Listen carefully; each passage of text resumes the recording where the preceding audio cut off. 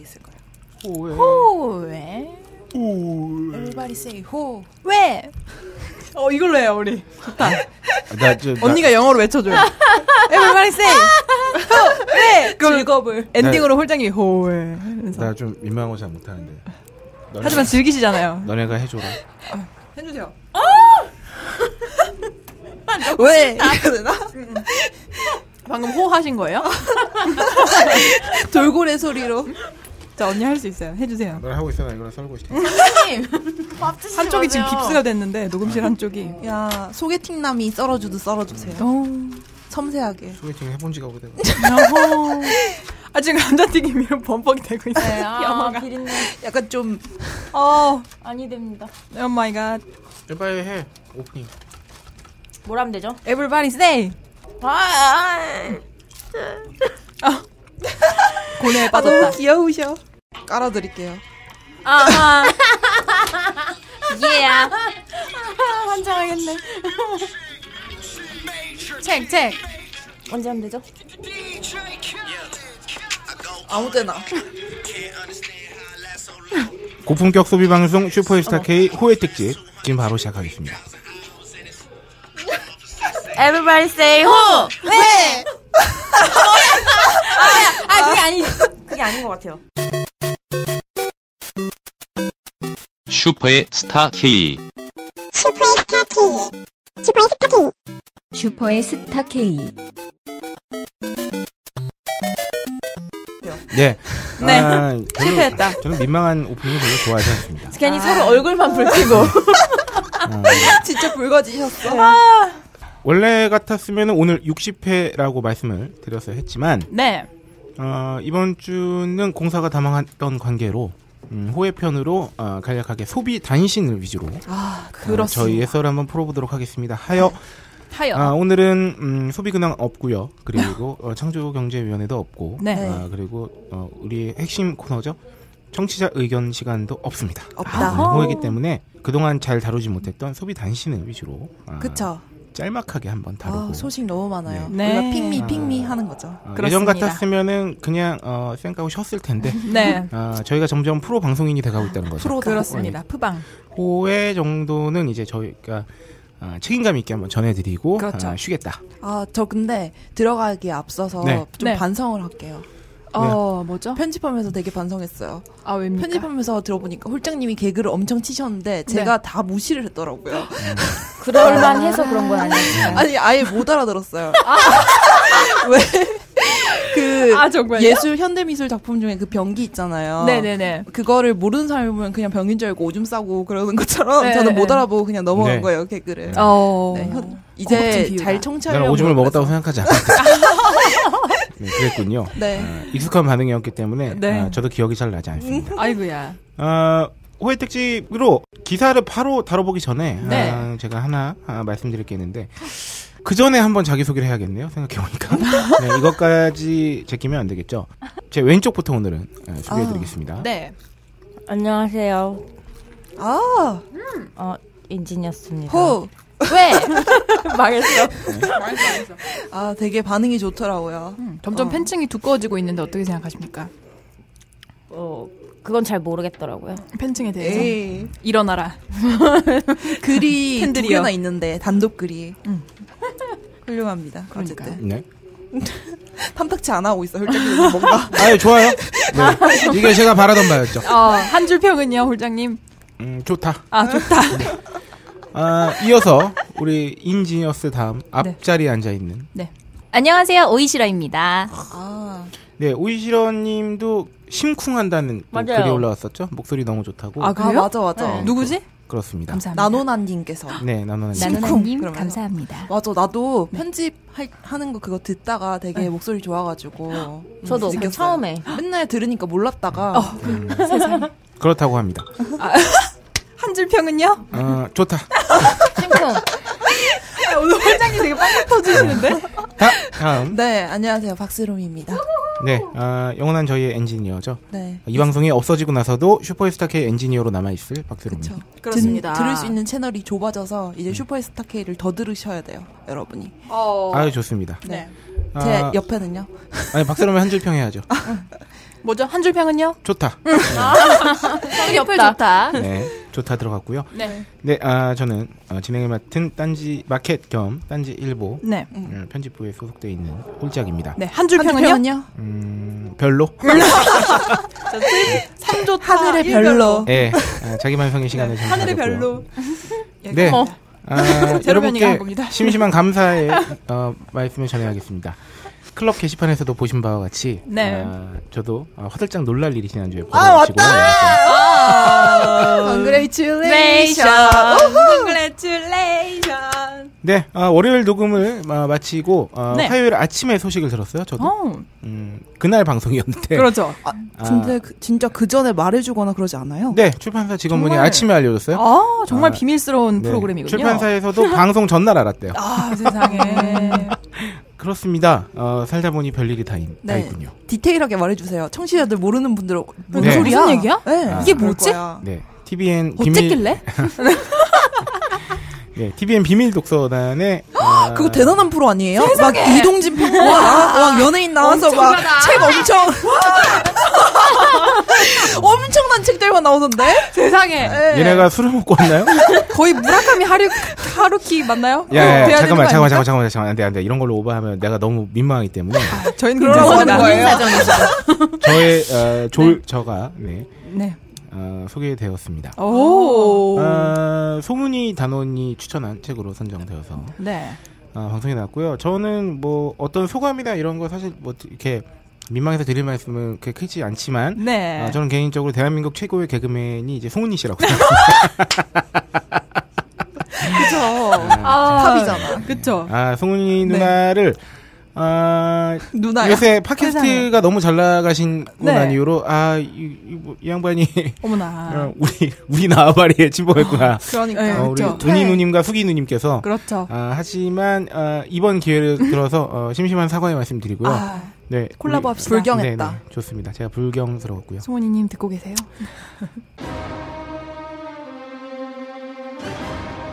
자유를 외친 시인 김수영, 위대한 화가 이중섭, 전설이 된 반고흐. 그런 그들의 진짜 모습은 찌질했다. 철없는 가난뱅이, 애정결핍 환자, 우리가 사랑한 위인들의 민낯. 위인전에 속은 어른들을 위한 경쾌한 반전이 시작된다.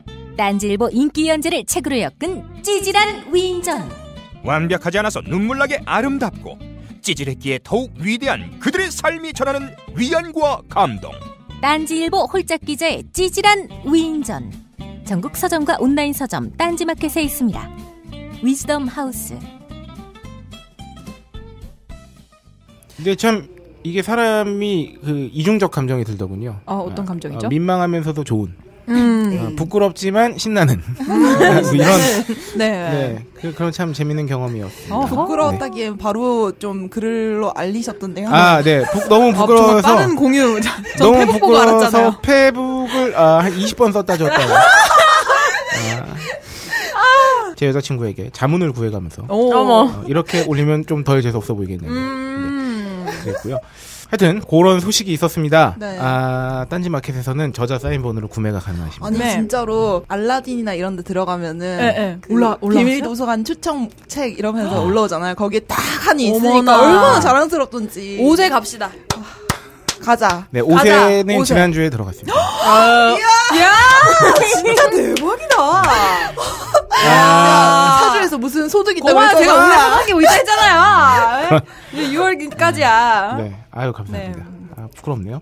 어머나. 사실 이 부분도 부분이지만 제가 또 하소연을 할 게 하나 있습니다. 아, 뭔가요? 어, 제 부사수가 조용히 오늘 저한테 그러더라고요. 자기가 방송을 좀 들어봤더니 제가 우리 그 부사수를 너무 막대하는 것 같다. 음. 와. 그래서 무슨 소리냐? 네. 지금 청취자 의견을 보면 네. 지금 홀짝이 인지니어스 손바닥에 있다는 얘기도 나오고 어. 그리고 그래봤자 홀짝의 반항이 통하지 않는다는 얘기도 나오는데 네. 아, 그때 그렇지 않대요. 청취자분들이 오해하고 계신 거고 자기가 들을 땐 분명히 네. 아, 제가 본인을 막대하고 있는 아, 거라고. 핍박이라고. 아, 막대한다기보다는 네. 그왜 코 기자님 오셨을 때 제가 그거를 연휴 때 들었거든요. 네. 오, 그거 네. 누가 후기 올려주셨잖아요. 저보고 너무 뭐라 하지 말라고. 그래서 제가 그거 들어봤는데 실제로 그렇게 했든 안 했든 간에 거기서 되게 주눅 든 것처럼 보여서 아, 코 기자가요? 제가요. 아, 제가. 아. 네. 그래서 그래요? 그러니까, 그러니까 옆에서 막, 야, 야, 뭐 말 좀 해. 야, 뭐 말도 크게. 뭐, 뭐 별로 안 하는데 말 크게. 해. 이렇게 얘기하는 게 너무 평소보다 너무 세게 말씀하셔가지고. 음. 지가 주눅이 들었다고 하는데요. 주눅이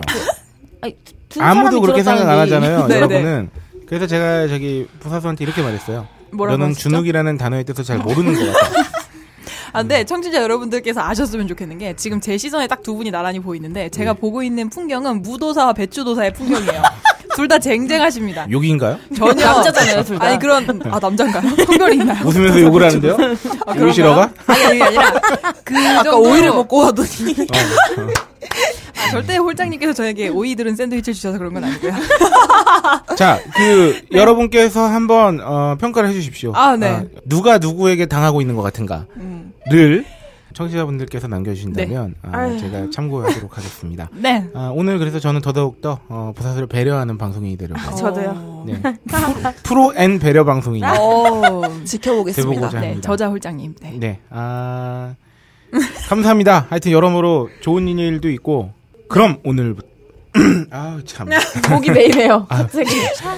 아, 자 그럼 오늘 호에 네. 바로 시작하겠습니다. 네. 바로라고 하기엔 좀 머쓱하네요. 그러니까 벌써 해서. 25분이 지났어요. 네. 네. 한 시간 이러다가 하기로 했는데 어, 20 반이 지났다는. 오프닝을 25분 했죠.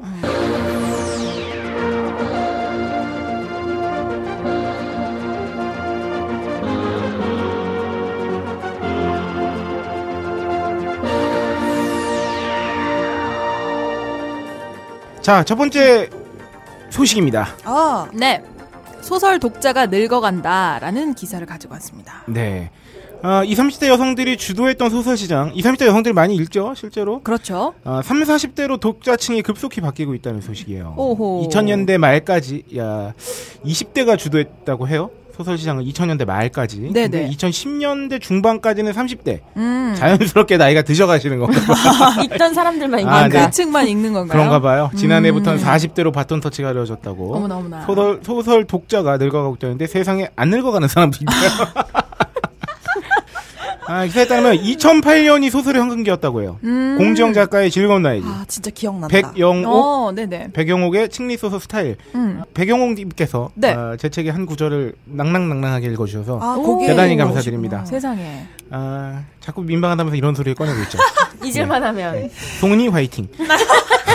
아, 그러면서 2008년에 황석영의 개밥바라기별. 네. 아, 신경숙 작가의 엄마를 부탁해까지 풍성한 수확을 거뒀다고 해요. 네. 이 시기 소설의 주 독자층은 20대였는데 글로벌 금융위기와 함께 아 이럴 때 막 되게 슬픈 음악 깔리기 시작해야 될 것 같아요. 따라라. 88만 원 세대가 사회적 이슈로 등장하면서 네. 20대를 위한 위로와 희망을 담은 소설이 큰 사랑을 받았다. 어. 그래서 해외 작가로는 아 제가 다행히 다 이름을 아는 분들이네요. 네. 레쿠니 가오리, 음흠. 요시모토 바나나, 네. 아, 귀요미 미소 등이 네. 20대 여성들의 예민한 감수성에 다가가면서 폭발적인 인기를 누렸다고 하는데 네. 그 다음에 어떻게 됐나요? 2010년으로 들어오면서 30대가 중심으로 이동을 했다고 하네요. 네. 30대 여성이 20대 여성을 넘어서 23%를 차지했대요. 30대가 네, 5%를 더 네. 넘겨서 1위에 올랐는데 2030에서 3020으로 흐름이 바뀌었다고 네. 합니다. 그래서 이때 발행된 소설이 도가니, 뿌리 깊은 나무, 엄마를 부탁해가 베스트셀러를 장식했는데 네, 이때 2011년에 네 네 네. 이때 또 한 번 변화가 일어났다고 예. 해요. 30대 여성의 뒤를 이어서 40대 여성이 소설 구매 2위로 비율 간 거예요. 2위로 간 거였죠. 그러니까 네. 이전에는 3020 에서 네. 304020으로 간 거죠. 그렇습니다. 음. 그래서 3위로 20대가 밀려나게 되면서 2012년부터는 40대 여성의 진격이 시작됐다고 네. 20대와 차이를 더 벌이고 30대와 간격을 좁히며 1위를 위협해 아, 나가는 양상을 보였다고 합니다. 기사를 이렇게 보니까 약간 마라톤 중계 같지 않습니까? 자, 자, 43번 선수 역전했어요. 막 이러면서. 당당당. 네. 네. 그렇습니다. 그러고서 2013년이 돼서 네 어떻게 됐죠? 40대는 30대와 다시 1.5포인트 차로 줄였어요. 음흠. 2014년에는 0.5포인트로 바짝 추격했고 어, 정말 마라톤 같네요. 하여튼 2015년에 전세가 역전돼서 40대가 이제 주구장창 아, 23.9%로 1위를 달리기 시작합니다. 음. 30대 여성이 2위로 밀렸고요. 20대의 점유율이 정말 극적으로 줄어들기 줄어드는데요. 네네. 아까 이 기사만 봐도 말이죠. 2010년에 그래도 20대 여성은 18.6%를 차지했어요. 네네. 그리고 2011년대는 16.5%까지는 차지했는데 2015년에는 어, 20대 점유율이 9.6%밖에 안 됩니다. 야. 올해 상반기에는 30대와의 차이, 차이를 더 벌리면서 이제 40대가 우위를 굳혀나가고 있다고 하는데 네네. 이런 변화가 2000년대 우리 소설 시장을 주도했던 한 축인 30대 독자층이 40대로 편입되면서 벌어진 양상으로 보인다고 이 기사는 분석하고 있는데 네네. 아, 20대 독자층의 경우에는 30대로 수평 이동했으나 음. 이게 그거죠. 20대 독자가 자연스럽게 30대로 넘어가면서 30대 점유율이 높아지는 건 맞는데 네. 문제는 10대 독자들이 20대 독자층으로 넘어가지 않았다는 거예요. 그렇죠. 그러니까 10대 소설을 읽던 독자들이 20대 소설 독자가 되든 아니면 네. 20대가 되면서 소설을 새롭게 읽긴 해야 되는데 이게 안 됐다는 거죠. 그렇죠. 이거에 대한 분석이 이렇습니다. 독자층이 20대가 줄고 있는 데에는 모바일 세대라는 점, M 세대라는 점도 무관치 않다. 네. 책을 읽기보다는 이제 스마트폰으로 모바일 life를 즐기는 게 더 익숙하기 때문이다 하면서 음. 웹 소설을 소비하는 주 독자층이 이들이라는 점도 눈여겨 볼 만하다. 그리고 어허. 다음 분석은 좀 슬픈데 비견, 비정규직과 아르바이트를 전전하는 20대의 취업난 등 경제적 어머나. 이유도 책 구매율에 다소 영향을 미쳤을 거란 분석이 있고 음. 아, 뒤에 뭐 다른 이제 분석들이 슬슬 나오는데 네. 아, 어떻게들 생각하십니까? 이 어. 분석에 동의하시나요? 근데 저는 일단 제 나이 또래 이야기를 하고 있는 것 같은데 네. 웹소설을 많이 소비하기 때문에 책을 구매하는 구매율이 낮아졌다는 건 잘 모르겠어요. 솔직히 제 주변에도 웹소설을 막 그렇게 즐겨 음. 읽는 사람은 잘 모르겠고. 제, 맞아요. 저는 진짜로 주변 사람들이 책을 안 읽더라고요. 음, 음, 네. 맞아요. 그 지금 2000년대, 2008년도에 유행이었던 에쿠니 가오리, 요시모토 바나나 네네. 이런 분들 있잖아요. 네네. 그때 진짜로 막 붐이어가지고 네. 약간 이게 부드럽고 음. 가벼운 가볍다고 네네. 표현해도 되나? 그렇게 그런 류의 소설이잖아요. 네. 근데 지금 이제 베스트셀러 소설 순위를 보니까 이제 채식주의자야 지금 붐이라서 그런 거고. 야, 난리 났죠, 지금. 음. 네, 소설들을 보니까 뭐 히가시노 게이고 소설이나 음, 아니면은 소설. 하퍼리, 무라카미 하루키 음. 그러니까 약간 이런 추리류나 약간 무거운 류의 소설이 많네요. 아, 좀 굵은 소설. 네네네 굵은 소설이 많은 것 같아요. 음. 그래가지고 공급 쪽에도 이런 20대 독자를 맞춘 소설들의 공급량이 조금 적지 네. 않나 싶기도 네네. 하고요.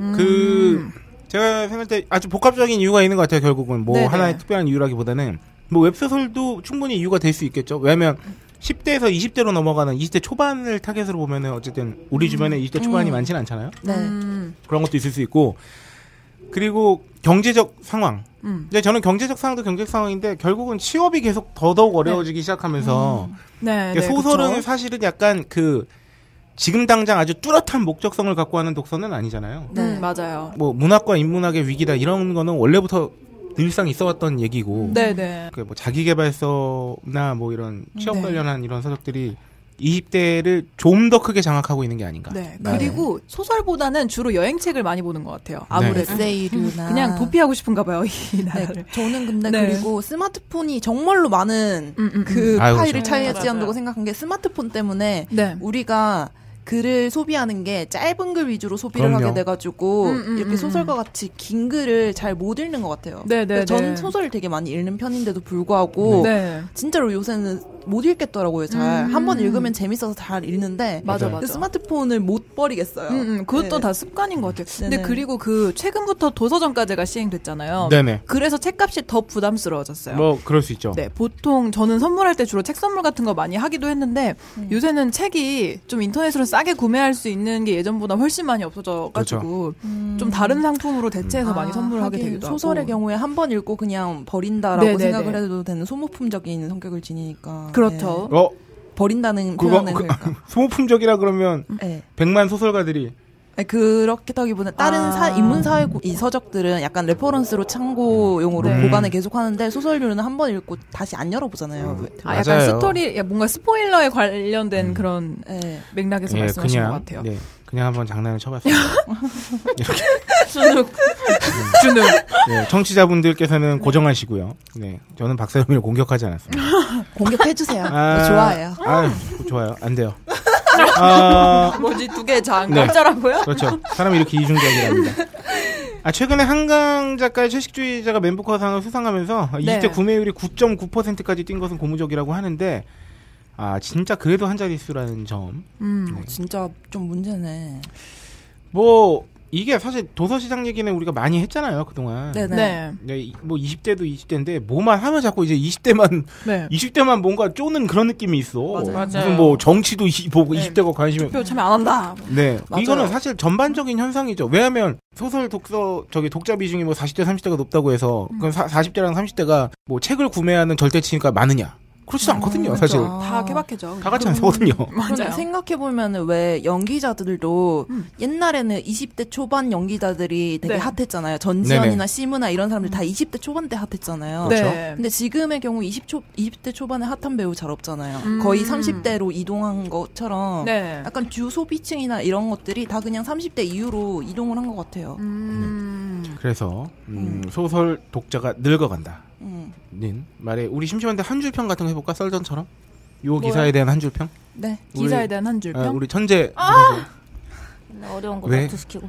음. 어 미안해. 나중에 하자. 가증스럽네요. 우리 천재 부사수는 맨 나중에 배려했어. 한 줄 평을 하기로 했습니다. 배려했어. 네, 제가 잘못했네요. 제가 제일 먼저 한 줄 평을 하겠습니다. 오. 만족하시나요? 네, 좋다는 하지 마세요. 아. 한주평에. 좋다 이러면 되게 아, 뺏겼어 뺏겼어 하시려고 했나 보다. 아니 소설 독자가 늙어간다는데 좋을 리가 없잖아요. 어. 아, 네. 작가로서. 어렵구나. 아 네. 그렇죠. 네. 네. 한 줄 평은요? 아, 그냥 음, 땡. 아 소설 독자가 늙어간다는 기사에 아, 제 한 줄 평은 네. 소설뿐만이 아니다. 음. 네. 비슷하네요. 네, 네, 네. 저도 바로 한 줄 평. 네. 들어가시죠 오이시로. 20대뿐만이 아니다. 네, 아 좋아요. 라인 맞추나요? 자 박세롬이 어, 오금이 저- 갑자기 저려지는데. 한 줄평은요? 아, 아, 나는 지금 힘들다. 아, 아, 나는 지금 힘들다. 네. 아 그거예요? 어, 아, 뭔가 죄송해요. 철학적인데? 철학적인 문장인데? 그렇게 해석해 주세요. 그러면. 아 본인이 소설을 쓸 건가 봐요 앞으로. 아, 그러니까 힘든 거지. 지금 이 녹음실에 시인과 작가분 저두 분을 모시고 계세요. 몸둘바를 모르겠네요. 그러니까요. 선생님들. 야, 선생님들 자 네. 우리 마지막 하이라이트죠? 네 천재 부사수는요? 그래도 찌질한 2인전은 사주셨으면 좋겠다. 야, 진짜. 이렇게 배려가 넘치는 사이랍니다. 이야. 역시 홀짝을 웃게 만들어요. 그러니까 지금 다시 부끄러워지셨어요 지금. 아주 괜히 또 아, 우리 드래그만 하시는데. 하지 마요. 우리 착한 부사수가 어, 저를 매기고 있어요. 아이고야 세상에. 고급스럽게. 자 다음 기사입니다. 아, 스마트폰 앱으로 첫 주택 매매. 오. 아, 이달 초 서울 서초구 양재대로 이 길에서 스마트폰 애플리케이션 앱을 이용한 부동산 매매 계약이 국내 처음 이루어졌다는 오. 기사입니다. 한마디로 어, 스마트폰 앱으로 계약서도 쓰고 네. 어, 거래까지 했다는 얘기죠. 어머나 어머나. 이제 다 아. 앱으로 다 하나 봐요. 네, 스마트폰을 통한 어, 부동산 거래는 계약 과정이 간편하고 거래 비용도 절약된다는 이점이 음. 있다고 하는데요. 부동산 앱 계약 절차에 대해서 한번 제가 아 저보다는 우리 네. 오이시러가 소개해드리는 게 낫겠네요. 아, 네. 첫 번째, 계약서 작성. 공인중개사가 국토교통부 부동산 전자계약 시스템에 접속해서 계약서를 작성합니다. 네, 앱으로 국가기관의 어, 시스템에 접속한다는 거죠. 네. 두 번째, 계약서 생성. PC로 작성한 계약서를 중개사의 스마트폰으로 정- 전송한다. 네. 이 발음이 안 되냐. 다음 계약자 본인 인증은 뭔가요? 매수 매도자 휴대전화로 인증번호가 발송되고 와. 공인중개사 신분과 증명사진도 확인 야 가능하다고 이거 집을 사고 파는데 거의 저기 뭐야 온라인 게임 아이템 결제 같아요. 휴대전화 인증번호. 어, 그런데요? 네. 오. 아, 인증번호 잘못 넣으면 집이 날아갈 수도 있나요? 네, 어머나 어머나 세상에. 그렇군요. 네, 네 번째, 계약 내용 확인. 네. 공인중개사가 스마트폰 화면에 중개 대상물 확인 설명서, 계약서 등을 띄워놓고 계약 내용을 설명합니다. 네. 다섯 번째, 계약자 서명. 거래 의뢰인이 터치펜 오. 등을 이용해서 아. 스마트폰 화면에 서명합니다. 마지막으로 공인 중개사가 서명을 하면 어, 최종적으로 완료가 된다고 하네요. 네, 아, 제법 종이가 없이 앱으로 한다는 점에선 간소화된 건 맞는 것 같은데, 네. 아, 우리가 생각하는 것처럼, 네. 아, 오- 우리가 오해하기 쉬운 건 그냥 마치 앱으로 이거 다 해가지고 공인중개사 없이 그냥 사고 파는 사람 이건 아니고, 간편 결제는 아. 아니고요. 공인중개사 분도 이렇게 껴 있고 한데 뭐 PC도 왔다 갔다고 하는데 어쨌든 그 종이에다가 막그 먹지 음, 위에다가 막 쓰고 맞아, 막 맞아. 해서 막 도장 찍고 이런 건 접어서. 아니라는 거죠. 네. 음. 아, 6일 국토교통부에 따르면요. 네. 지난 6월 2일 서초구 LH 서초 5단지 아파트에서 부동산 전자계약 스마트폰 앱을 이용한 주택 매매 거래가 성사됐고요. 음. 올해 2월 국토부 관계자가 태블릿 PC를 이용해 시범 계약을 맺은 적은 있지만 네. 일반인이 어쨌든 스마트폰으로 전자계약을 체결한 건 이번이 처음이라고 네, 어, 합니다. 아 확실히 근데 이게 뭐 아 뭐 그냥 앱으로 그냥 터치펜 이거 뭐 그냥 그런 걸 뿐이잖아 라고 하, 할 수도 있지만 네. 어쨌든 부동산 거래가 종이를 벗어났다는 건 굉장히 혁신적인 일일 수 있죠. 그러게요. 네. 옛날에는 왜 왠지 막 토지 대장, 네. 맞아. 집문서, 그쵸. 갈색 이런 느낌 강하잖아. 접지 말고 보관하고 막. 네. 아 진짜 이런 것 네. 때문에 이제 드라마의 소재가 하나씩 없어지겠네요. 아. 옛날에는 그렇죠. 집문서 집문서를 갖고 날랐어야 되는데 그러면서 PPL이 늘겠네요. 네. 이제. 아, 계약 내용에 대한 중개사의 설명을 들은 당사자들은요. 그러니까 어쨌든 계약 과정에서 터치펜으로 액정에 서명을 했다고 해요. 아하. 그리고 이후에 중개사가 거래 완료를 승인하자 계약은 마무리됐고 음. 뭐 계약자들에게는 계약 완료를 알리는 문자 메시지가 휴대전화 굳이 다 했는데 또 메시지를 멋진데? 아, 거래를 중개한 아, 윤모 글로벌 공인중개소 대표는 네. 전자계약 앱이 기존 계약서 작성 프로그램과 크게 다르지 않았다면서 음. 펜 계약에 익숙하던 중개사들도 쉽게 중개할 수 있을 것이라고. 네. 아하. 그러니까 막 크게 막 대단히 달라진 건 아닌데 네. 어쨌든 뭐 거대한 한 발자국이라고도 할 수 있죠. 음. 어 주택 임대차 계약을 전자계약으로 체결할 경우에는요 확정 일자가 실시간으로 부여돼가지고 네. 아, 주민센터 방문할 필요가 없다는 게 편하네요. 아. 그리고 수수료 600원이 면제된다고 합니다. 오호. 집을 사본 적이 없으니 그래서 몰랐어. 뭐 이거 이게 보니까 네. 이 이후의 절차가 네. 좀 편해졌어. 음. 주민센터 가가지고 확정 네네. 일자 신고 안 해도 되는 데다가 음. 실거래 신고도 자동으로 처리돼가지고 신고 지연에 따른 과태료 등의 불이익도 막을 수 있고 어. 뭐 이렇게 이런 이 짜잘한 그 이 계약 후에 업무 같은 것들이 좀 음. 편해지거나 없어지거나 오. 이렇게 된다고요. 그리고 KB 국민은행과 협약을 맺어가지고요. 네. 어, 4월부터 전자계약을 이용하면 주택담보 및 전세자금 대출 금리가 0.2 포인트, 오. 2% 포인트 인하된다고. 어머나. 0.2% 포인트 네. 인하된다고 합니다. 아, 정확하시다. 네네. 배려 있다. 아, 예, 오늘 좀 그렇게 해보려고요. 어, 뭐 저기 부사수님? 네네네. 네, 오늘 녹음 환경은 좀 어떠시고요? 아, 예, 좋다, 좋다. 네, 아 반말하신 건가요? 아니요, 아니요. 아까 딱 따라한 건데요. 아, 네, 알겠습니다. 아니, 뭐. 그런 걸 따라해 주시고 그러시나요? 이게 너랑 나랑은 되게 배려 있어서 좋은 것 같은데 네. 어, 듣는 사람 청취율이 떨어질 것 있어요. 같아요. 맞아요. 하던 대로 하는 게 최고죠. 그쵸? 네, 여러분 방송 들으시면서 토하시는 건 가급적 아, 삼가해 주시기 바랍니다. 죄송합니다.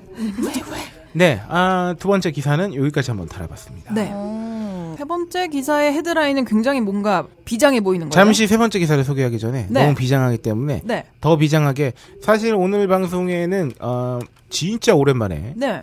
어, 옛날에 로라의 느낌을 살려서 네. 진짜 오랜만에 네. 진짜. 네 오랜만에 어, 비인간 게스트를 모셨어요. 네. 이미 저희가 반 이상 처먹어놓고 이제 바분의 있습니다. 삶이 먹는 소리가. 들리셨을 네, 텐데. 죄송합니다. 아, 오늘 비인간 게스트, 게스트 어, 오랜만에 등장한 먹거리는요. 저희 어, 벙커원에서 이제 맥주도 팔고 안주도 팔지 않습니까? 오. 아, 수제 맥주의 윈마이엑스와 대동강 페이레일은 굉장한 맛을 자랑하고. 있고요. 대동강 맥주. 네, 게다가 아, 제가 아, 사랑하는 수제 맥주 중에 하나죠. 아, IPA가 추가되었다는 소식입니다. IPA 추가됐구나. 네, IPA가 오. 추가했고요. IPA 처음 들어보네요. 그리고 저희가 벙커에서 각종 맛난 수제 안주를 아, 음. 판매하고 있는데 네. 아, 오늘 자리에 한 것은 안주명 뚜둥. 거꾸로 감자를 거슬러 오르는 생연어 감자튀김입니다. 아 생연어 튀김입니다. 아 너무 어려워. 거꾸로. 다시 할게요. 거꾸로 감자를 거슬러 오르는 생연어 튀김입니다. 아, 강물이 아니라 감자를. 아. 네. 감자와 연어 튀김이라는 거죠? 거꾸로 감자를 거슬러 오르는 생 연어 튀김인가요? 네, 아 좋습니다. DP가 감자 어. 위에 있나요? 어. 거감생이죠, 거감생. 거감색. 어.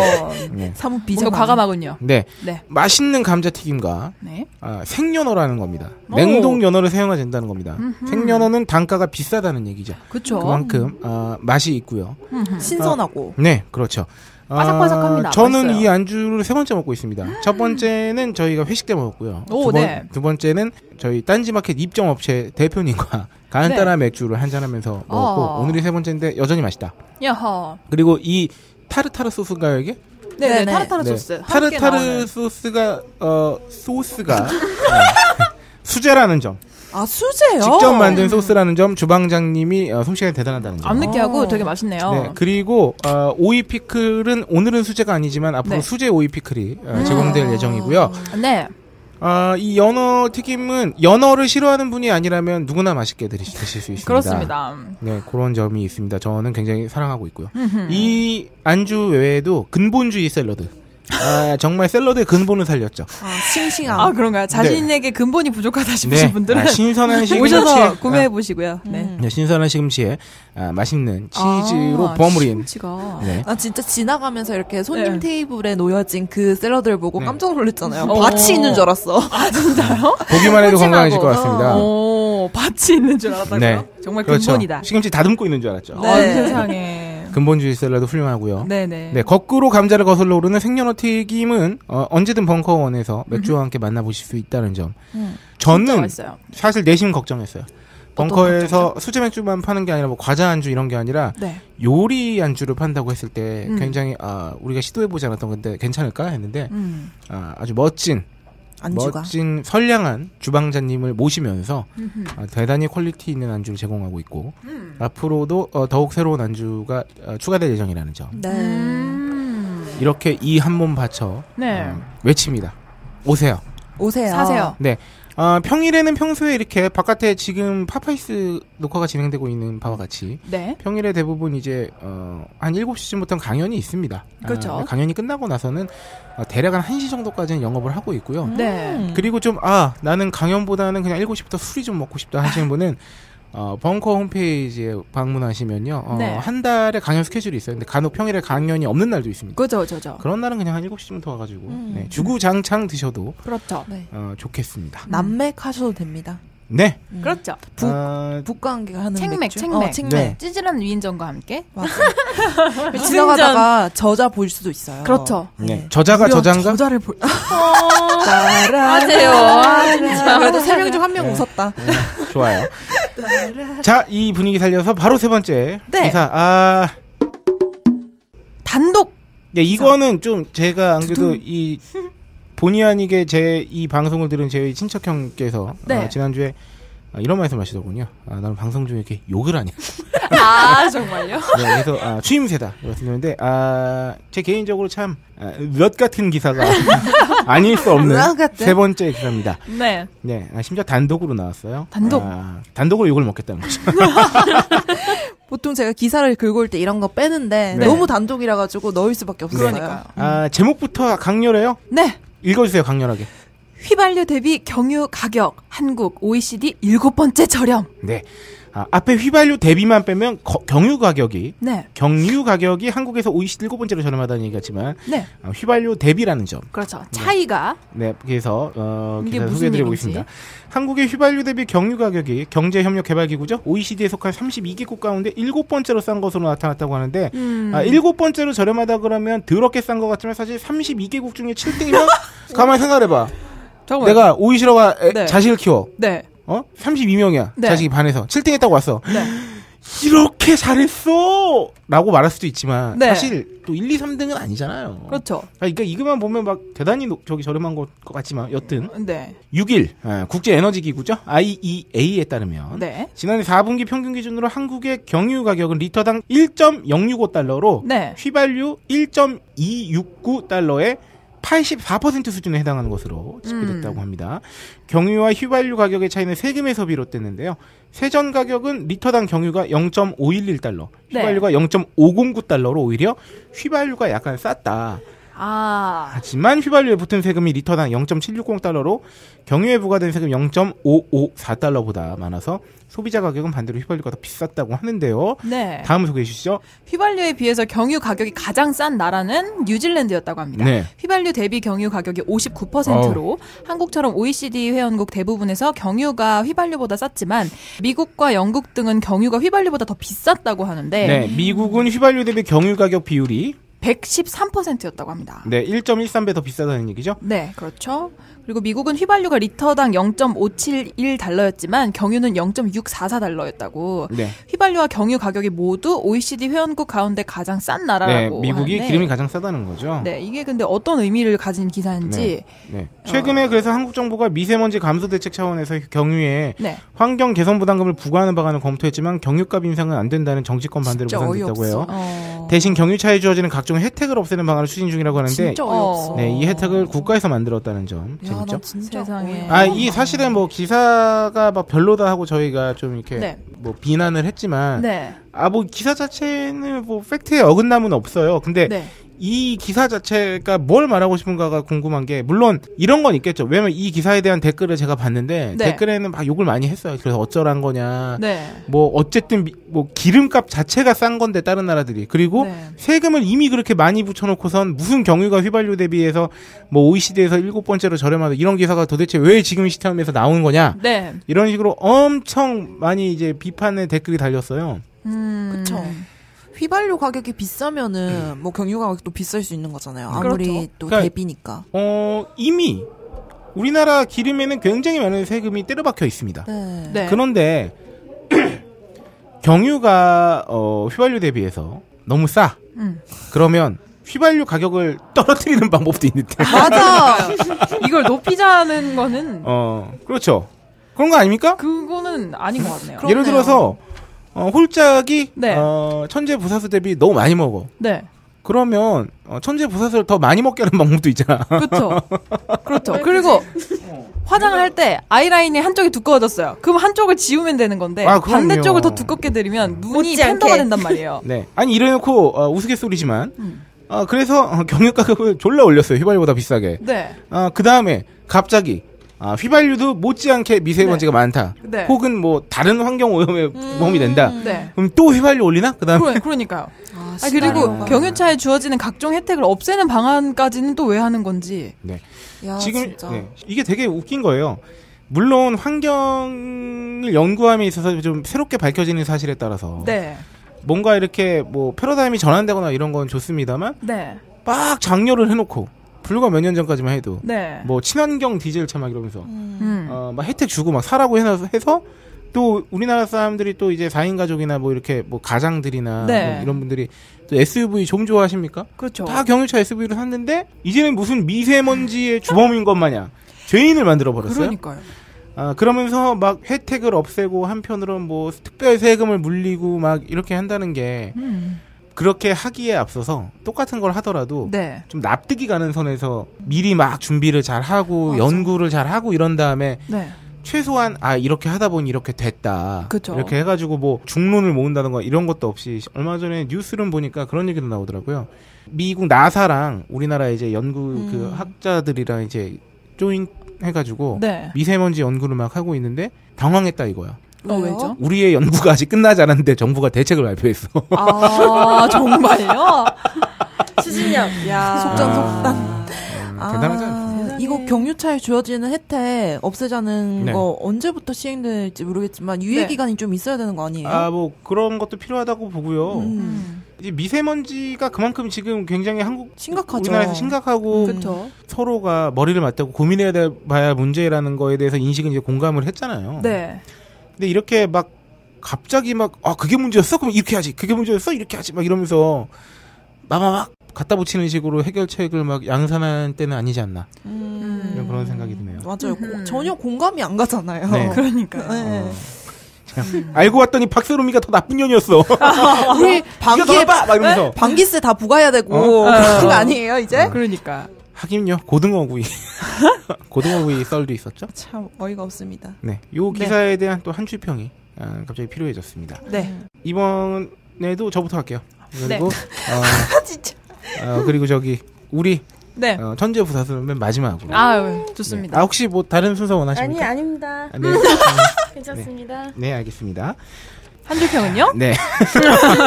아, 이게 한 줄평이 어려운 거구나. 아, 그럼요. 그 전원책. 변호사님하고 우리 유시민 작가님 네. 대단한 분이시네. 네, 저부터 예. 할까요? 오. 고등어는 석쇠 위에서 구이가 제맛이다. 어. 고등어는 나쁜 짓 안 했다. 음. 고등어 나쁜 줄 알았다. 휘발유 경유 얘기했는데 안주평을 고등어는 잘못을 안 했다고. 시잖아요. 네, 멋진 그렇죠. 말입니다. 네. 네, 우리 오이시러 그러면 어. 저는 세 번째로 하겠습니다. 그게 한주평인가요? 저는 세 번째로 하겠습니다. 그렇습니다. 네, 그거 하겠습니다. 사람은 아는 게 많아야 한다. 사람은 아는 게 많아. 배워야 한다. 아, 사람 자기가 배워야 한다. 깨달은 점. 그래. 저의 한 줄평입니다. 더 열심히 해야 돼. 한 줄평만 들으면 우리가 무슨 기사를 소개했는지 모를 수도 있어요. 다 붙여도 돼. 그런 생각이 드네요. 네. 네. 음, 홀장님의 한 줄평은요? 휘발유 대비 경유 가격이 57번째로 저렴하다고 말하기 전에 네. 어, 우리나라가 OECD 1위를 하는 얼마나 더러운 게 많은지를 네. 먼저 생각해 줬으면 좋겠다는 음. 네, 생각입니다. 네. 좋습니다. 자, 이제 하이라이트죠. 네. 두두두두두두두두두두. 천천천 천천천. 아 저는 째째레제. 어 그걸로 하겠습니다. 뭐죠? 미세먼지가 마법봉이네. 아. 아, 뿅 하면 다 된다는 거예요. 네. 미세먼지. 어디나 갖다 붙여. 뭐든 아 훌륭하네. 멋있다 이거. 야. 1위. 배려는 네명 중에 1위 하니까 기분 참 좋네요. 와. 배려는 인지니어스도 춤추게 한다. 와. 제, 제가 첫 번째로 시켰으면 절대 이런 게 안 나왔을 거예요. 아, 네 번째 기사. 아, 저도 오늘 본 기사입니다. 네. 아, 한번 소개해 주시죠. 네. 살찐다더라.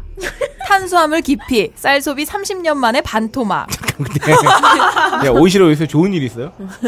저녁에 약간 왜 이렇게 업돼 있지? 부담되는 공연이 끝나서 그런가 봐요. 아, 그런가 봐요. 저의 표현력이 굉장히 풍부해졌습니다, 여러분. 아, 그렇군요. 네, 재밌으시죠? 아, 청취자 좋아요. 여러분? 네.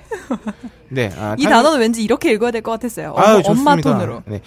탄수화물 기피 때문에 살, 쌀 소비가 30년 만에 반토막이 났다는 기사인데, 네. 아, 이거는 좀 충격적이죠? 왜냐면 음. 인구가 엄청 늘었는데, 30년 전에 비해서 그러게요. 소비가 반토막. 물론 먹을 게 쌀 말고도 많아졌지. 왜냐면 그쵸. 30년 전보다는 치킨, 치맥이 주식인 대학생들도 많고. 네. 통계청이 발표한 지난해 우리나라 국민의 하루 평균 쌀 소비량은 172.4g. 네. 하루 평균이에요. 어. 전년보다 3.3%또 줄었다고 합니다.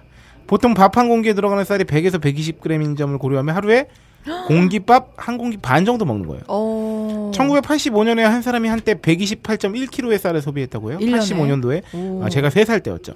그러던 것이 30년 만인 지난해 절반도 못 미치는 62.9kg으로 떨어졌다는 얘기입니다. 자 여기서 여러분들 지난 일주일 동안 평균적으로 네. 쌀밥 몇 그릇 드세요? 일주일 동안?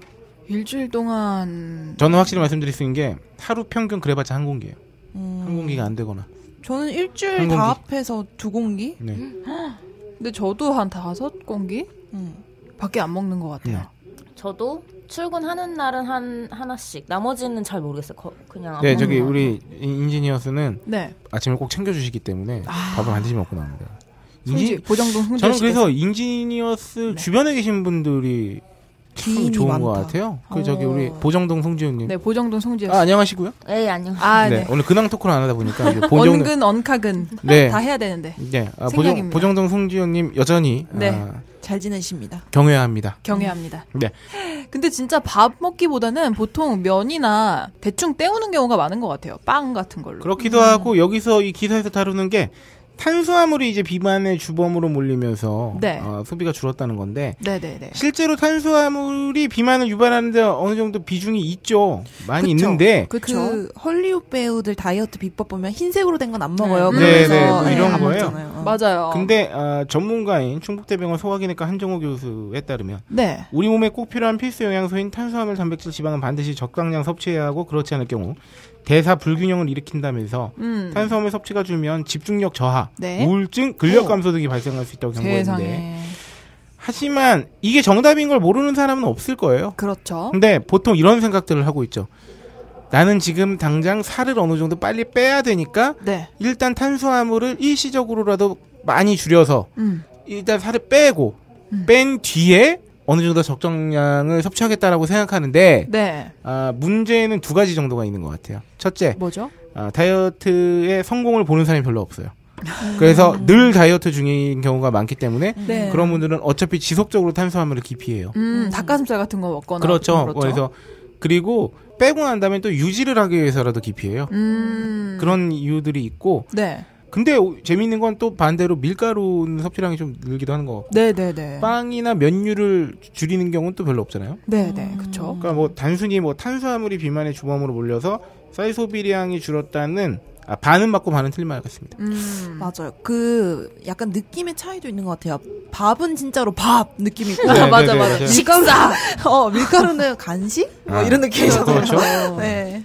그 보통 많이 때우잖아요. 특히 대학생들 같은 경우에는 빵이나 뭐 그쵸. 대체 식품 많아졌잖아요. 뭐 브리또 학교 앞에서 팔기도 하고. 너무 사람들이 바쁘다 보니까 음, 밥보다. 어, 밥보다는 그렇게 때우는 식으로 많이 음, 하다 음. 보니 맞아 맞아. 이에 대해 그래서 호텔식 조리학과 모 교수님께서는 네. 식품 영양학적인 측면에서 밥을 통해 섭취하는 탄수화물은 소화 시간이 길고 음. 포만감을 주기 때문에 체중 조절에 오히려 긍정적 효과를 낼 수도 있다고. 아, 맞아 맞아. 오. 다만 맞아요. 근데 밥보다는 요새 확실히 설탕, 과당, 밀가루 그리고 인공 정제된 탄수화물이나 섬유질, 네. 필수 지방산이 모두, 모두 제거된 채 그러니까 이런 정제된 탄수화물, 그러니까 밥에 있는 순수가 아니라 네. 설탕도 정제한 거죠. 그쵸? 과당도 정제한 거죠. 그렇죠. 그런 것들 인공 정제된 탄수화물이 섬유질이나 필수 지방산이 모두 제거, 제, 제거된 채 칼로리만 높아 비만을 부를 수 있다고 설명했는데 아. 그 SBS 스페셜로 나온 그 당과의 전쟁 그 네네. 코너 보면은 네. 그 미스 코리아 출신이었나요? 무슨 미인대 출신이었나요? 하여튼 되게 마르신 아, 맞아, 분인데 맞아. 네. 그분이 밥을 안 먹고 그거만 먹어요. 뭐 이제 빵 내지 뭐 이게 작은 조각 케이크 같은 거나 이런 거. 먹거나 이런데 어. 아 그분이 정말 당 끊고 5kg가 더 빠졌습니다. 와, 맞아, 맞아. 정말요? 그렇게 마른 분이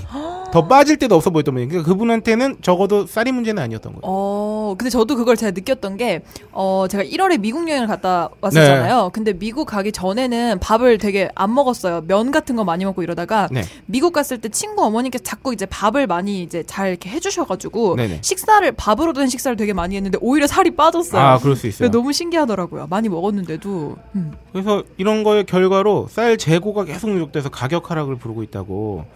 그러니까 지금 막 특히나 막 쌀농가들이 가뜩이나 어려운 와중인데 네. 국내 쌀 시장을 개방하지 않는 조건으로 외국에서 들여와야 하는 쌀 의무 수입량이 네. 아, 1995년 당시 5만 천 톤에서 자, 어, 2014년에 40만 9천 톤으로 늘었어요. 네. 그러니까 우리가 그런 거예요. 야, 우리 쌀 시장 개방 걔 쌀은 안 돼? 쌀은 안 돼? 이랬더니 야 그러면 니네 1년에 쌀 이 정도는 무조건 수입해. 음. 라고 했던 양이 2014년도에 40만 9천 톤이라는 거예요. 그쵸. FTA 때문에 더 늘었나 보죠. 근데 아. 지난 2월 기준 국내 쌀 재고량은 183만 톤이에요. 음. 유엔 식량 농업기구가 권장하는 적정 재고량은 80만 톤인데 네. 이거의 2.3배에 달한다고 합니다. 어머나, 어머나. 그래서 네. 한국농촌 경제 연구원이 재고 쌀 10만 톤을 보관하는데 네. 한해 316억 원이 든대요. 16억 원이 10만 톤당 한해 아. 316억 원에 야. 보관하는데 보관비가 들어요. 어머나. 조선시대 같으면 얼마나 네. 이거 환영할 일이 이게 보관이 이게 뭐냐면 뭐. 순수 진짜. 보관료가 61억 원. 그리고 이제 쌀이 오래되면서 가치 하락하는 비용이 220억 원. 음. 어. 금융 비용이 이제 35억 정도로 어머나, 든다고. 어머나. 진짜 대단하다. 네, 그래서 밥 좀 먹으라고 소비를 음. 쌀 소비를 정부가 촉구하고 있는데 네. 아 이거는 쉽지 않을 것 같다는 개인적인 생각입니다. 그쵸. 워낙 대체된 식품들이 많기 네, 때문에. 먹거리 너무 많고요. 네. 그리고 이게 진짜 근본적으로 좀 생각해봐야 되는 게 뭐냐면 네. 아침, 점심, 저녁 다 쌀밥 먹게 하려면 네. 아침밥 먹을 시간 먹고 갈 여유도 있어야 되고요. 그쵸. 저녁에 집에 들어와서 밥해 먹을 여유도 줘야 돼요. 그쵸. 그러면 저녁이 있는 삶도 보장돼야 되고요. 그러니까요. 아침도 있어야 되고. 그러니까. 음. 근데 일찍 와서 늦게 가길 바라잖아요. 네. 우리나라는. 그렇죠. 솔직히 뭐 주변에 이제 좀 회사 다니는 친구들 보면 네. 9시 10시까지 치여서 일하다가 네. 집에 가면은 사실 길어요. 그리고 아침에 회사를 막 8시까지 나오라고 막 이런데 그쵸. 밥을 언제 앉혀서 먹어요? 진짜 아침에 어, 그냥 라면 먹어야지. 뭐. 누군가한테 그러면은 치킨 먹든가. 어? 집에 있는 어머님이나 뭐 혹은 이제 집안일하는 분들한테 네. 나 8시까지 출근해서 7시에 나가야 되니까 6시에 일어나서 밥하라 그래요? 그러니까요. 그럴 순 없잖아요, 또. 이거는 좀 어렵습니다. 아이러니합니다. 네. 아니 외국처럼 한 뭐한 9시까지 회사 9시 반 뭐 10시까지 간다거나 네. 한 5시에 퇴근해서 6시에 퇴근해서 집에 한 6시 반 7시에 오면 네. 어? 당연히 밥도- 저녁을 있는 삶을 살죠. 그쵸. 저녁밥도 오손도손 먹고 네. 아, 좀 이런 것까지 좀 신경을 좀 써줬으면 좋겠어요. 음. 단순히 그냥 막 쌀 좋아요 많이 드세요 막 네. 이러면 이건 좀 그렇지 않아요? 밥, 뭐, 밥심으로 뭐 일합시다. 뭐, 네. 일- 잡수면 그러니까. 또 일하라고. 맞아. 또 일하라 그래. 우리가 뭐 힘이 없어서 일 못하나? 일을 너무 많이 하니까 일 못하지? 야, 근데 하여튼. 진짜 쌀 보관 비용 보니까 진짜 놀랐어요, 너무. 그렇죠. 10만 톤당 그랬다는 거. 음, 이거 좀 마케팅이 필요하겠네요. 쌀에 음. 대한 네. 공격적인. 아, 마지막 기사를 한번 또 재밌는 기사가 있습니다. 우리 어, 한 오늘 줄평은 건너뛰나요? 네 아, 어. 다음 기사가 있기 때문에 아, 쿨하군요. 네. 아 근데 이거 한 줄평 좀 나올 만할 것 같나? 쌀 쌀? 아니에요. 네. 네, 아, 마지막 기사가 어, 뮤직뱅크나 연말 가요 시상식으로 따지면 네. 메인 이벤트죠. 맨 마지막에 나오는 그렇죠. 마지막 무대. 영업 정지 받은 롯데 홈쇼핑. 의문의 1승. 아, 영업 정지만 받은 줄 알았더니 네. 의문의 1승도 했나 봐요. 의문의 있다. 1승 뭐지? 자, 롯데홈쇼핑 영업정지 소식을 저희가 사실 지난 방송쯤이나 지지난 방송쯤에 알려드렸어야 되는데 네. 아, 그 관계 시간 관계상 단신을 많이 소개 못 드리면서 그렇습니다. 롯데홈쇼핑이 어떤 일이 벌어졌는지 우리 네. 오이시러가 한번 소개해 주시죠. 네. 여러분, 최근에 TV 채널 돌리다 보면 낯선 장면에 깜짝 놀라실 수 있는데. 아, 9월 28일부터. 아, 네. 9월 28일부터 TV 채널을 돌리다 보면 낯선 장면에 깜짝 놀라실 수 있는데 검은 배경, 배경의 정지 화면에 방송 중단 고지가 뜨는 장면이에요. 이 방송사는 대부분 지역에서 20번 이내의 황금 채널을 차지하고 있는 롯데 홈쇼핑입니다. 미래창조과학부가 지난달 27일 롯데 홈쇼핑에 대해서 9월 28일부터 6개월간 매일 오전 오후 8시에서 11시까지 6시간 동안이나 영업 정지 처분을 내렸다고 네. 하는데 이 오전 오후 8시에서 11시까지가 네. 이 홈쇼핑계 프라임 타임이래요. 그쵸, 황금 시간. 황금 타임. 네. 그렇습니다. 이 이유는 지난해 재승인 심사 과정에서 롯데홈쇼핑이 비리 임원을 고의로 누락해서 감사원에 적발됐다는 이유 때문에 이런 네. 징계를 받았다고 하는데 방송 역사상 전례를 찾기 힘든 초강력 징계라고 하네요. 그쵸. 어떻게 이렇게 크게 두들겨 맞았을까? 이를 통해서 네 판매량 감소가 된 그 액수가 5,500억 원에 이를 것이라 네. 는 전망이 있다고 하는데 이 징계를 소화하게 되면은 네. 어, 예상되는 이 매출 감소가 5,500여억 원. 이게 롯데 홈쇼핑 매출의 반이에요. 그럴 수밖에 없겠다. 그러니까 매출의 진짜. 50%가 날아갈 위기에 처했다는 겁니다. 50% 이상일 것 같아요. 그러니까 네. 그러니까. 그래서 롯데 뿌리가 홈쇼핑은 흔들리겠네. 창사 일의 최대 위기에 몰린 음. 모양새라고 합니다. 네. 사실 롯데 홈쇼핑 우린 몰랐잖아요. 네. 지난해 5월에 아예 회사 한판 내릴 뻔했대요. 아 그래요? 네, 내막을 들여다보면. 그래서 뭐야? 중징계 받았어. 엄청 야씨 얼마 뭐 이랬는데 알고 봤더니 네. 최악의 징계는 면했다는 표현이 더 어울릴지도 모른다는. 어 왜죠? 왜지? 네, 이게 바로 이제 슬슬 시작됩니다. 기승전결로 한번 나눠봤어요. 기 2014년 전설의 갑질 사건. 어떻게 된 건가요? 네, 이혼한 전처에게 매달 300만 원을 보내라. 아버지가 진 도박빚 1억 5천만 원을 대신 갚아라. 투자한 주식이 떨어졌으니 비싼 값에 사달라. 2,800만 원짜리 그랜저 차를 사달라. 네, 이런 말도 안 되는 뭐야? 뭐야 이게? 개짓거리를 누가 했나요? 네, 롯데홈쇼핑 임직원들이 납품 업체에 했던 요구 사항들이라고? 합니다. 자기가 이혼해놓고 내 전처한테 매달 300씩 보내달라고. 이걸 주식- 왜 납품업체가. 해주죠? 참나. 이거 망나니 아들이나 하는 짓 아니에요? 진짜 난이난이? 막난이다 어. 진짜 어 머나 세상에 전설의 갑질로 불리는 이 사건으로 2년 전 롯데홈쇼핑 전현직 임직원 등 23명 이 무더기로 검찰에 기소됐다고 하는데 네. 당시에 파장이 상당했다고 해요. 홈쇼핑 방송 출연이나. 황- 네, 황금 시간대 편성 등을 대가로 슈퍼 갑질, 앞서 소개해드린 예, 그런 음. 갑질을 일삼아온 유통업체들의 민낯이 적나라하게 드러난 사건이었기 때문이었다고 하는데 서울중앙지검에서 이 사건의 수사를 첨단 범죄수사부에 배당했을 정도로 롯데홈쇼핑 임직원들의 수법이 교묘하고 기상천외했다고 합니다. 한 직원의 경우에는 몰래 돈을 챙기기 위해서 내연녀의 남동생 계좌로 돈을 받기도 했고 내연녀도 아니고 내연녀의 남동생. 그렇죠. 더욱 놀라운 것은 사건을 추적을 하다 보니까 배후에 CEO가 있었다는 점입니다. 멋있다. 아, 그렇습니다. 네, 신헌 롯데홈쇼핑 전 대표는 비자금 중에 2억 2,600여만 원을 상납받아서 개인 용도로 사용했다고 아, 합니다. 그러니까 사장부터 임원까지 똘똘 뭉쳤다는 얘기죠. 그렇죠. 네. 뭐 직접 뒷돈을 수수하기도 했고 2천만 원에 달하는 뭐 이활종 화백의 그림 한 점을 받기도 했고 그렇다고 합니다. 네, 신전 대표는 그래서 결국 구속 기소돼 징역 2년과 추징금 8,800만 원을 선고받았고요. 네. 나머지 전현직 임원도 모두 유죄를 선고받았다고 하는데 전설이네요. 아, 이 기사가 소개되고 있는 와중에 제가 네. 비인간 게스트를 먹다가 바닥에 좀 흘렸거든요. 아, 저는 배려를 열심히 했는데 네. 와. 우리 천재 부사수가 세상에. 저를 치근한 눈빛로 쳐다봐줘서 고마웠어요. 어, 배려가 통했군요. 그럼요. 네. 네. 아, 하지만 내막은 달라요. 저를 주워 먹으라 그랬나요? 저를 어, 주워 먹이. 저를 되게 한심한 표정으로 바라봤어요. 어머나. 지 머리를 묶으면서. 어, 세상에. 약간 엄마들이 이렇게 떨어뜨리면 네. 에휴 또 으이그, 떨어뜨렸어 으이그 이런 것처럼. 느낌이잖아요. 그 세상에. 네. 아 근데 이게 진짜 좀 심하네요. 그쵸. 이게 뭐야, 이게. 암암리에 다 그냥 허용을 했다는 근데 이게 거잖아요. 너무 웃겨. 네. 아니 그냥 달라면 모르겠는데 음. 투자한 주식이 떨어졌으니 음. 비싼 값에 사달라. 이게 뭐야. 너무 찌질하잖아. 그냥 그러니까. 내가 주식을 해서 4천 원 손해 봤어. 어. 그러면 야 나 돈 필요하니까 그냥 4천만 줘. 보자줄게 그러니까. 이게 아니라 투자한 주식이 떨어졌으니 비싼 야. 값에 사달라. 2,800만 원짜리 그랜저 차를 사달라. 아 그냥 1억 5천 달라는 것도 아니야. 아버지가 진 도박. 아니, 그러니까. 그러니까 되게 웃긴 게 이거야. 그러니까 나름대로 합리를 내, 추구했어. 어, 내 마음대로. 어. 제멋대로 추정을 해보자면 논리를 만들었어. 어, 그냥 달라기 뭐하니까 스토리텔링을 하는 거예요. 그쵸, 그쵸. 저는 나 300이. 아버지가 도박빚을 지시고 그러니까. 1억 5천만 원의 빚을 감당해야 하는 네. 롯데 홈쇼핑 임원입니다. 그쵸. 저를 도와주신다면 그렇죠. 프라임 타임에 댁내 제품을 꽂아드리겠습니다. 뭐 그렇죠. 이런 느낌이에요. 아니 왜 회식 이런 거 있을 때 네. 이제 빠질 때 음. 핑계를 이제 전 사람이 된 거를 내가 되면 안 되잖아요. 아, 맞아. 이런 식으로 그쵸. 배틀하듯이 탈락해야 돼. 예. 야, 만약에 제가 야근할 게 되게 많아요. 네. 근데 제가 나쁜 선배여서 우리 천재 부사수한테 일을 그냥 몽땅 떠넘기고 싶어. 네. 근데 내가 욕 먹기는 싫잖아. 그쵸. 래서 이 친구를 데려다가 어 밖에서 하, 아버지가 요새 진짜 안 좋으시네. 어떻게 해야 되지? 막 이러면서 네, 네, 그쵸. 아 일이 이렇게 많은데 아 빨리 집에 가야 되는데 어떻게 하지 모르겠다. 난 진짜 불효자식이야. 난 돼줘야 돼. 막 이런 네. 짓을 그쵸. 야 네가 좀 대신해 줄래? 뭐 이런 그, 그쵸. 아 진짜. 근데 이건 일도 아니고 심지어 돈이잖아요, 돈. 예 그랜저 그러면서 네. 차라리 1억 5천. 이네 가지 사례 중에 아, 깔끔하게 2,800짜리 그랜저 차를 사달라는 게 제일 깔끔해 보여요. 그쵸? 솔직하다, 솔직해. 깔끔하다. 아, 솔직해.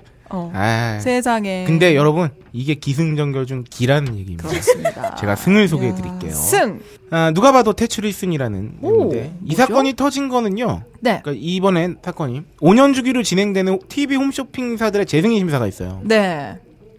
그게 2015년 5월에 있었는데 불과 1년 앞둔 시점에서 이게 2014년에 터진 거예요. 아. 그러니까 5년마다 재승인 심사를 받아야 되는데 1년 전에 네. 임원들이 은 같은 짓을 한 게 걸린 거야.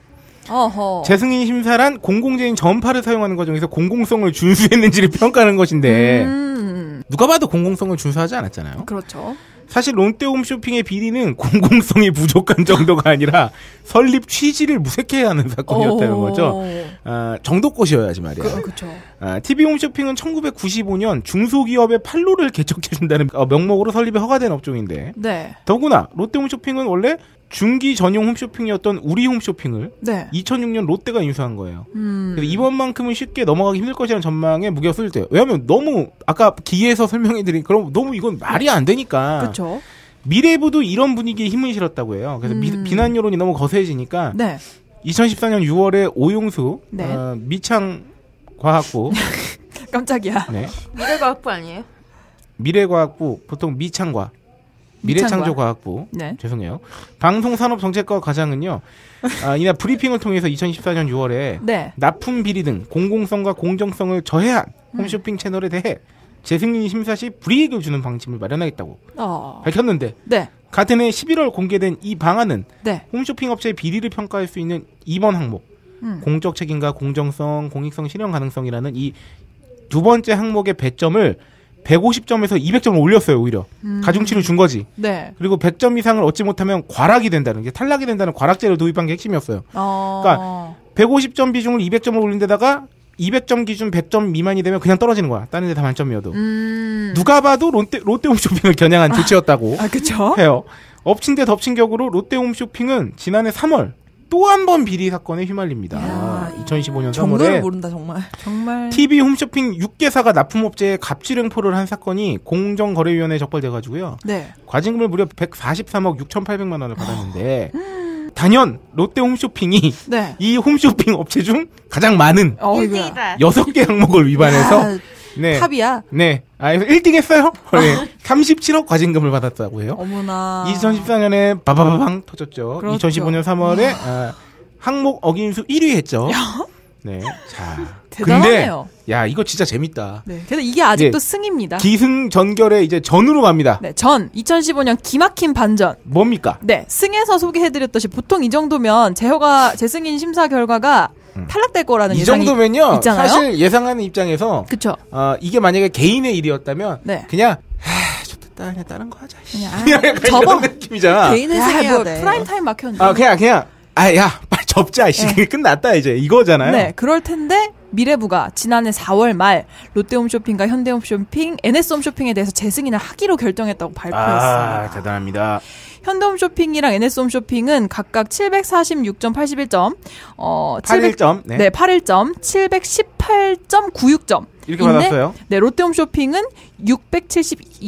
672.12점을 획득해서 승인 최저 점수인 650점 이상을 받았다고 아, 합니다. 대단하지 않습니까? 아니, 간신히 650점을 올려줬네? 간신히 모르겠어. 그냥 넘었어. 본인의 네. 힘으로. 네. 도대체 그러니까. 이거를 못 넘으려면 어떻게 해야 되는 거예요? 그러니까요. 도대체? 어느 정도까지 해야 아, 되는 제가 거예요? 볼때 네. 다시 네. 기로 돌아가면요. 네. 이혼한 전체한테 한 600 보내달라 그래야 되고요. 아, 그렇죠. 아버지가 도박비 한 3억 줬어야 되고요. 그렇죠, 그렇죠. 아, 2,800짜리 그랜저 말고 그러니까. 한, 한 5,000짜리 렉서스는 사달라고 그렇죠. 그렇죠. 650점을 못 넘지 않았을까 이렇게 그, 예상됩니다. 그렇죠. 네, 그래서 다만 이렇게 해서 통과를 해줬지만 네. 롯데홈쇼핑에 대해서는 재승인 기간을 5년에서 3년으로 단축하는 조건부 승인을 결정했다고 이거는 하는데 좀 민망했던 거지. 그렇죠. 음. 너무 그런 거 아니냐라는 소리를 듣기 싫어서 네.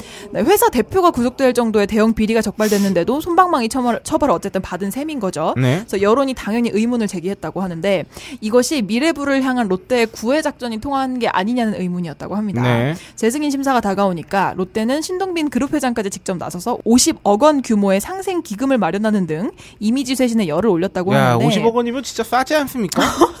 그렇죠. 과징금의 음, 거의 그럼요. 무슨 3분의 1밖에 안 네. 되네요.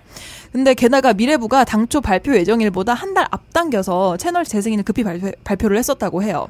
그래서 이것 때문에 꼼수라는 비판을 받기도 했는데 왜 한 달을 더 앞당겼냐면 당시가 식약처의 백수호 재검사 발표에 이때 언론의 눈과 백수 귀가 파동이 나면서 그쵸, 그쵸. 이것 때문에 시끄러울 때 네. 재승인 발표를 한 달 빨리 해서 그냥 이때 해버린 거야 그냥. 그쵸. 그래서 뭔가 또 욕먹을까봐, 아이, 뭐 5년에서 3년, 조건부야. 이런 식으로 달아서 일찍 발표를 해버린 그러니까 거죠. 이게 구리잖아요. 그쵸. 구려서 구리다. 발표 한 달 만에 감사원이 네. 구리다 해서 전격적인 감사에 착수한 게 네. 어, 기승전결의 전까지의 내용입니다. 어쨌든 그렇습니다. 아, 이렇게 기승전까지 제가 짤막 요약을 해드리자면 네. 기 롯데홈 쇼핑이 거지 같은 비리를 졸라 2014년에 저질렀어요. 네. 승 거기에 엎친 데 덮치격으로 한번 더 또 적발된 것도 많고 해서 아, 쟤는 누가 봐도 떨어지겠다 했어요. 네. 전 기막힌 안- 반전으로 살아남았다. 안 떨어졌다. 네, 이 네. 결로 갑니다. 네. 2016년 딱 걸린 꼼수. 네, 아니, 올해죠. 감사 결과가 지난해 2월에 발표가 됐어요. 그래서 아 지난 2월에 네. 이게 어떻게 된 거냐 재승인이 어떻게 된 거야? 그쵸. 그랬더니 감사원이 롯데홈쇼핑 재승인 심사용 서류를 제출할 때 네. 2014년에 적발된 비리 임원 10명 중 대표이사 등 2명을 누락시켰고 음. 이 사실을 미래부 공무원들이 묵인해 준 사실을 찾아낸 겁니다. 이거 누락한 걸왜 그러니까 묵인해 주냐? 재승인 심사 중에 2014년도에 그 비리 임원이 많이 이렇게 유죄 받았잖아요. 네. 근데 롯데홈쇼핑이 재승인 심사 서류를 제출할 때 뻔히 뭐 비리 임원 다 이렇게 걸린 건데 두 명 뺀 거야. 거기다. 심지어 사장까지 대표이사까지. 그니까요. 그리고 이 사실을 미래부 공무원들이 묵인해 준 건데 음. 감사원에 따르면 롯데홈쇼핑이 서류를 누락시킨 것은 네. 아, 비리 행위 대부분이 2010년 이전에 이루어졌거나 음. 2012년 이미 퇴직한 사람이라는 이유였다고 해요. 아. 아, 그러니까 직원이 한 일이고 직원이 이런 멋진 이유다. 뺀 거군요. 예전에 한 건 제가 아니다. 그렇죠. 네. 그리고 이미 관뒀다. 음. 이는 서류 제출 원칙을 몰랐거나 알고도 묵인한 것인데 아. 그러니까 뒤늦게 서류 누락을 일부 확인한 미래부는 추가 제출을 요구했지만 아, 롯데는 신전 대표의 배임 수재 해당 여부로 확인할 수 없다는 주장을 제출했고요.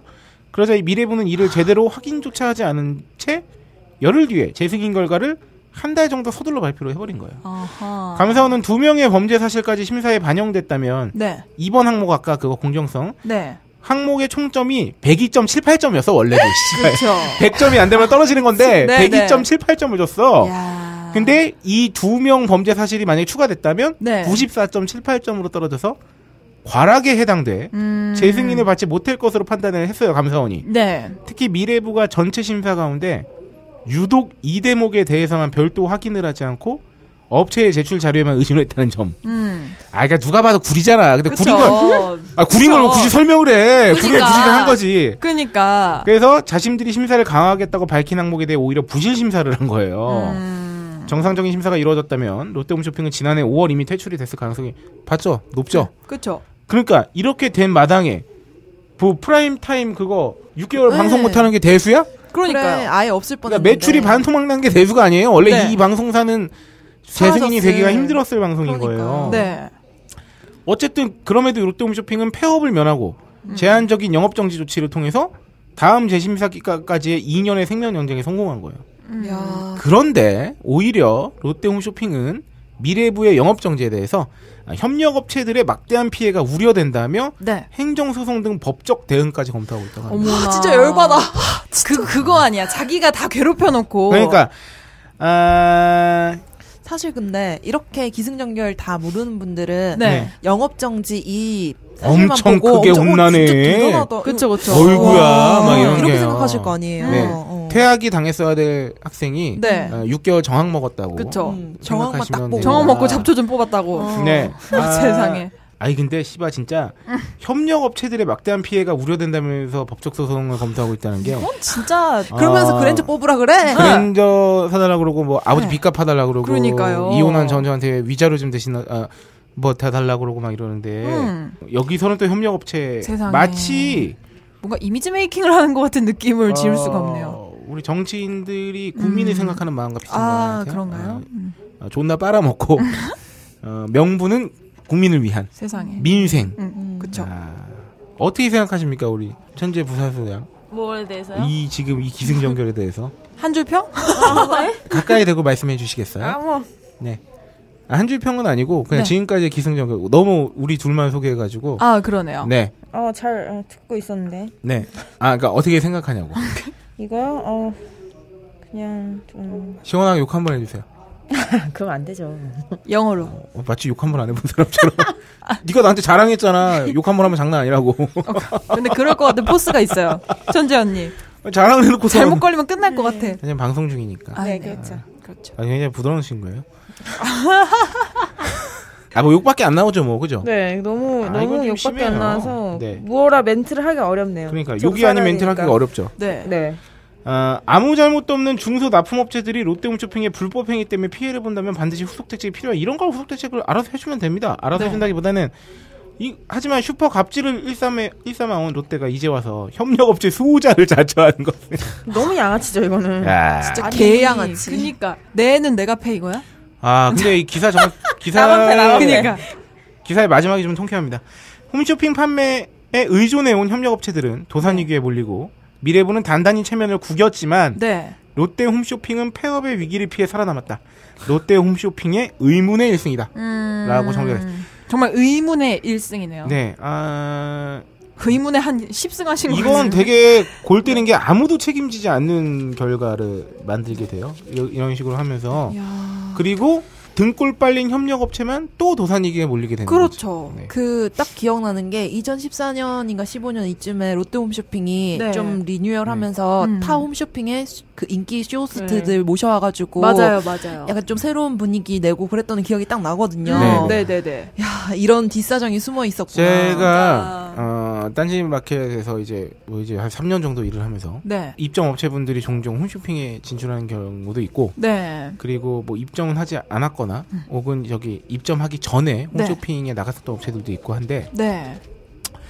아, 롯데 홈쇼핑이 뭐 지금 보니까 이 기사만 보면 이제 개중 왕인데 아, 다른 곳도 뭐 이렇게 특별히 그러니까 비슷하겠죠. 그 홈쇼핑 업체가 어, 협력 업체라고 부르죠. 네, 어, 그쵸. 협력 업체라고 쓰고 음.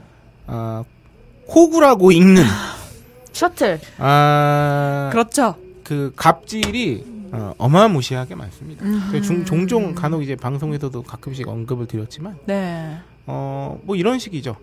15,000 세트를 팔고 싶다. 네. 다 팔릴지 안 팔릴지도 모르는데 네. 일단 만들어 놓은 걸 보여달라 그래. 아 맞다. 어, 만들어 놓은 재고로 확인시켜지 않으면 어, 팔리지 않겠다. 어머나. 그리고 이제 뭐 예를 들어서 한 회 방송당 5,000 세트씩 만약 걸었어. 네. 어, 1회 방송에 2,000 세트밖에 안 팔렸어. 어, 2회, 3회는 취소됩니다. 어머. 그럼 만 원- 나머지 만 삼천 재고예요. 어머나 어머나. 재고예요. 그런 경우도. 많아요. 우리 홈쇼핑 저기 기존의 단신으로 수수료 네네. 얼마만큼 홈쇼핑에서 뛰어가는지 얘기 들었죠? 네. 뭐 37.1% 내서 40몇 프로네 심한 경우 50%도 가요. 음. 아니 그렇게 떼어가면은 지 역할을 해야죠. 그리고 그런 그러니까요. 그런 것도 있잖아요. 개런티 일종의 개런티를 받는 건데 뭐 15,000 세트를 팔기로 하고 5,000 세트씩 3회 방송을 하기로 했어. 네. 그러면 얼마 정도는 수수료를 미리 받아. 팔기 전에.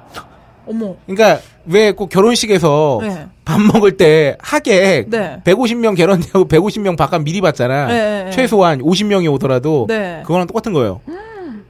그래서 세상에. 그 일정 수준의 수량이 미리 팔릴 것으로 생각하고 그 수수료를 미리 받아. 어머나. 그리고 그거보다 반밖에 안 팔렸어. 안 돌려줘. 어머. 이런 이- 너무하다. 그러니까 이 기본적으로 무슨 이뭐 저도 이제 업계 종사자분들한테 이런 식의 얘기를 들었지만 네.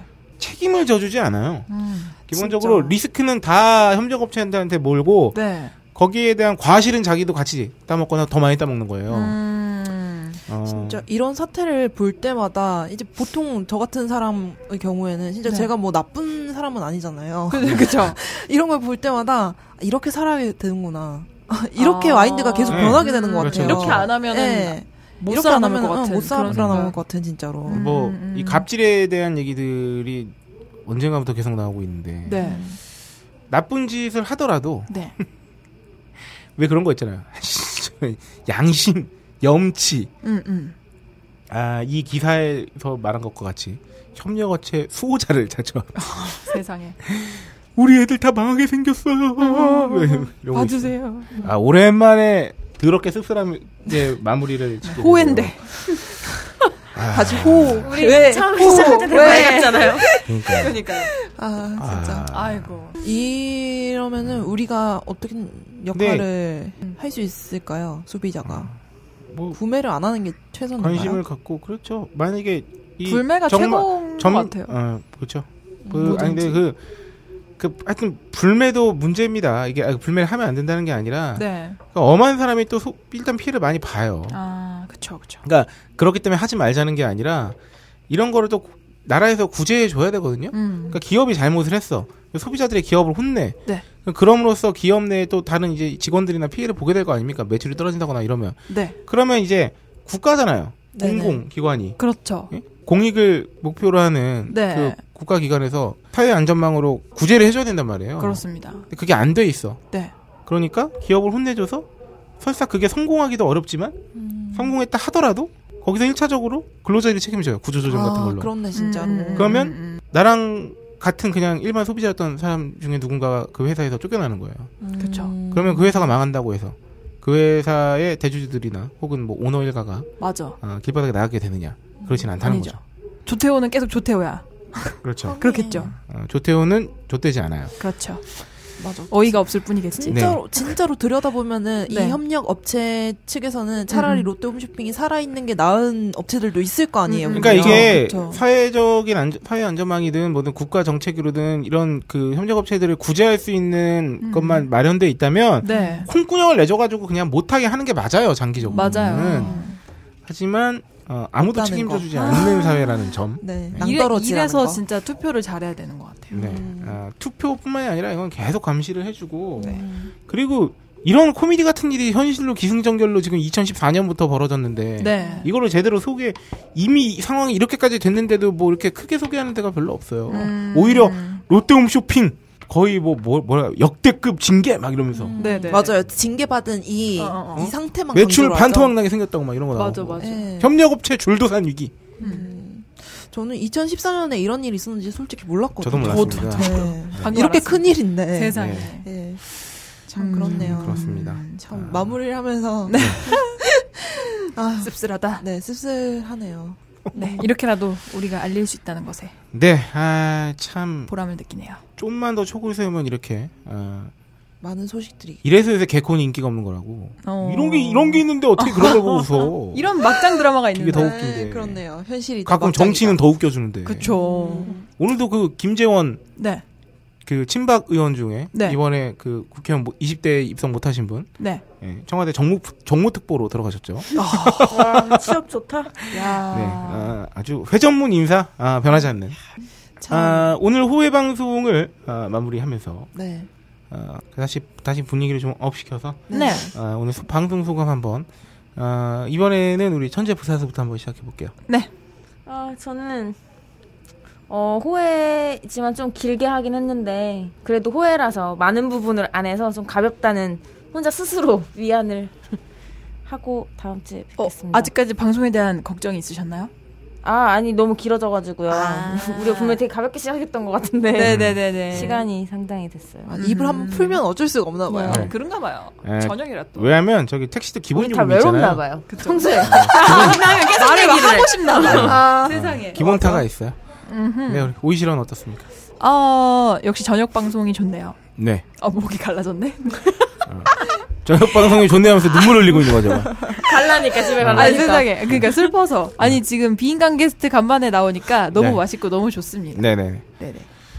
아, 저는 그 주말에 대구를 내려갔는데 집에 어, 네네. 얼마 전에 강남역에서 그 살인 사건도 있고 네네네. 그러니까 네. 그런 뭐 요- 사건이 많잖아요. 네. 그래서 엄마가 저한테 일찍 일찍 다니고 그러라고 막 그러는 거예요. 네. 아니 엄마 근데 내 환경이 내가 일을 하고 학교를 갔다 오면은 늦게 다닐 수밖에 없다고. 네. 만약에 나를 일찍 다니게 하고 싶으면은 투표를 잘하라고. 네. 그러니까 재반 환경을 갖출 수 있도록 음. 투표를 해달라고 그쵸. 그렇게 말을 했는데 이런 기사들을 보니까 역시 음, 투표를 잘해야겠다. 음. 약간 이런 생각이 드네요. 네네. 네, 뭐, 뭐, 저는 한편으로 투표를 잘했으면 극적으로 나아졌을까 하면 또 그게 또 힘들기도 해요. 물론, 음. 지금보다는 나아졌겠죠. 음. 지속적인, 어, 애정과 관심은 필요하다. 네. 존나 들여다봐야 된다. 음. 그런. 생각도 들고, 아, 오늘은 저한테 굉장히 석 달에 한 번 찾아올까 말까, 분기에 한 번 있을까 말까 한 네. 아, 이 약간 그 뭔가 되게 기운 빠지는 날이었어요. 그 위얼드한. 모, 모가 계속 겹치면서 네.